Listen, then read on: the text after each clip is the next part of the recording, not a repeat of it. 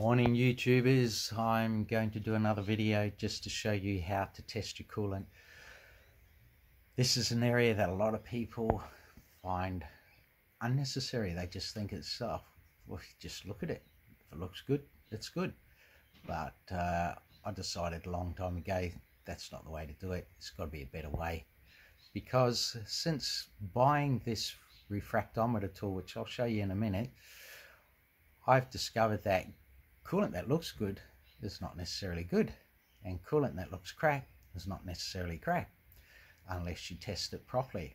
So to test it properly and to make sure that your engine's getting the correct amount of corrosion protection anti-corrosion protection you really need to get yourself one of these or go to a garage that actually tests coolant and not just looks at it and changes it periodically and changing coolant is another thing too. Changing the coolant and flushing it properly is vital to get the correct levels right. So what I'm going to do is show you this refractometer, which is over here in the vise. So this here is a refractometer. It looks a little bit like a little uh, tiny miniature telescope, but it's not. So what we have here is a surface thins which we take a sample of the coolant using one of these and we put it across that surface. We flip this down and then we measure it. Now I'll give you an idea what it looks like in there when um, there is no coolant on there so you can see. So you'll see it's all blue. You've got your scales there. It's all blue. By the way you can actually test the specific gravity of uh, battery fluid battery acid and also um, the amount of inhibitor you may have in your window washers window washer bottle. Uh, can be tested with the same uh, same device. So let's go ahead and take a sample of coolant out of this Mercedes and um, we'll test it. So this is a car going to test you might say the car's about 18 months old, you might say, well, why are you testing coolant on an 18 month old car? Well, the answer is simple. I've tested cars that are 18 months, 2 years old, and the coolant level is incorrect. Um, and the cars aren't getting the correct level of protection. I've had to actually flush the oil, uh, flush the oil, flush the coolant at those sort of cases. So it's very important. So let's go ahead and check it. So on this particular car, all we need to do is take a sample out of the reservoir. This is a pressurized reservoir so it's going to give you norm normally if it's not pressurized it's just an overflow reservoir. You need to take it out of the radiator via the radiator cap. But this is the radiator cap it's pressurized and these lines circulate coolant from the engine and radiator into this bottle and back out so everything circulates. So what you're going to get out of here is exactly what you're going to get out of the engine and radiator as well. So um, good place to start. What's the place you want to go to. So let's go and test it. Okay we're back at the refractometer. We take the coolant place it across make sure this whole blue area is nicely covered. Uh, get any air bubbles in there just get rid of them by tapping them out. Just flick this over and then we go around here and let's see where our readings at. Now there's the white area that I was telling you about. Uh, just take me a bit to set this up properly. There we go we're a propylene coolant G13 so that's about minus 39 perfect. Uh, I'll show you what to expect uh, from the graph. Okay this is a graph that shows you the uh, temperature versus ethylene glycol and that grayed out area in the center here this area here this is your range so you start to go out of range as soon as you hit minus 20. So I'll just bring that in a bit. Minus 20. After anything from there upwards, minus 10, in, minus 20 to 0. And uh, God forbid it's above that. If Well, it can't be above that because there'll be no glycol. Uh, you're out of range. So you're within range from this point here, which is about 43 to 45, 20 to minus 20 to minus 43 to 45. That is your range.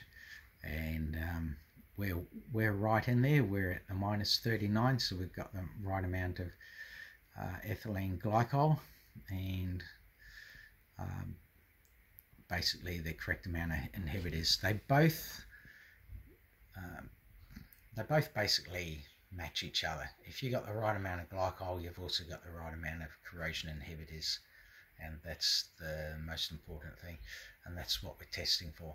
Yes we're testing for glycol because any cars that live in very cold areas or people going to the snow they want to make sure they've got the correct level of glycol in there to stop the cooling system freezing. But the uh, at the same time the correct amount of glycol is also the correct amount of inhibitors so this is a sign that I put up in my workshop for customers to read and it's basically you neglect any of those three things transmission fluid, engine oil, engine coolant, and you're up for the big bucks. No ifs and buts about it. I've seen it time and time and time again. Um, engine oil not just lubricates, but it also cools. So when engine seals get sludged up and, and a whole heap of crud behind them, they are no longer getting cooling that they require. They start to prematurely harden and in fact, they are actually overheating because all that sludge building up behind them. And then they, they prematurely go hard and they start to leak. Engine coolant. Don't get the correct amount of inhibitors in there, you start getting internal corrosion. You got an engine like that Mercedes out there.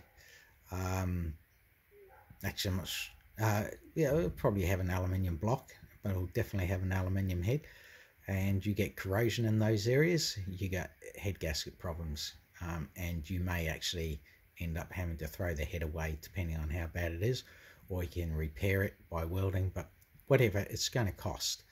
Transmission fluid, you don't change the transmission fluid on time. Now, this is a little bit of a um, sticking point for some because a lot of transmissions are service for life. Service for life in my book means you've shortened the life of the transmission. And because people believe that you can't service them when in actual fact you can, you can change the oil. And changing the oil on that note in the transmission is probably paramount. Um, and, and it's about the only thing you can do, and it's about the only effective thing you can do um, because most of them don't have filters, they just have strainers. So just keeping that oil fresh and clean at all times is going to preserve the life of the transmission. So you get a transmission failure, you get an engine failure, you get a cooling system failure, you get coolant, uh, cooling pumps, you get radiators leaking, cooling pumps leaking. You, you, it just goes on and on and on, and it all can be avoided by proper maintenance. So I'm I'm a stickler for that. Uh, I I do uh, quite a few hundred cars here from my location at my house, and I am just always pushing the need for proper servicing, on time servicing, so I can stay on top of customers' cars. Their running costs over time are very small because they're not getting any major failures whatsoever. And lastly, brake fluid. Brake fluid is another thing that, when neglected and overlooked, it gets moisture build up inside and that reduces your boiling point. Um, I test that every service as well. So brake fluids generally change every two to three years. Uh, I've seen it actually go quite a bit longer than that in a fully sealed system. But at the same time, we're testing brake fluid up here at the reservoir. So if brake fluid is still testing there after, good after three years, I would probably still be changing it anyway, um, four years max because down at your brake calipers could be a complete different story to what you're seeing up here. So always err on the side of caution. Well, I do because I'm looking after other people's cars. So why why wouldn't I?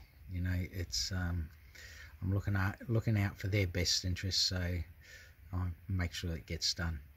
All right, guys. I hope you enjoyed this short video just to give you a bit of an idea of the importance of maintenance and um, some of the tests that can be done. Uh, you'll always you, you already see a test I did on this very same car regarding the battery over there. So um, yeah, battery, coolant, brake fluid, transmission fluid. Transmission fluid, I generally start looking at it around 60,000 Ks um, to see just how contaminated it is. If it is quite significantly contaminated, I start changing it.